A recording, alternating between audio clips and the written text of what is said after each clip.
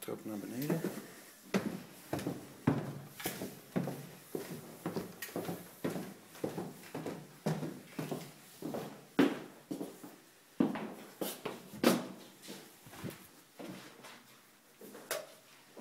Een wc zoals die er ook zal zijn in de andere woning. Grote tegels.